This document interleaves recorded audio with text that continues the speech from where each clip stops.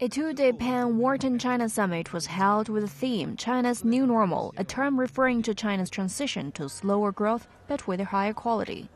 The theme of this summit is entirely the right one New Normal. Because not only is China in the process, in the extraordinarily important process of transitioning to a new normal domestically, I think we're also in a transition, an incredibly important transition to a new normal in US China relations.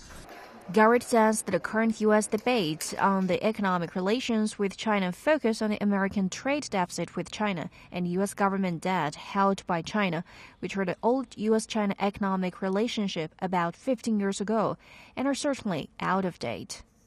The US China economic relationship today is actually much more balanced than it's been in the past. On the one hand, the Chinese market, the emergence of 500 million plus middle class consumers in China, has been so important and will be so important to the growth of the American economy going forward.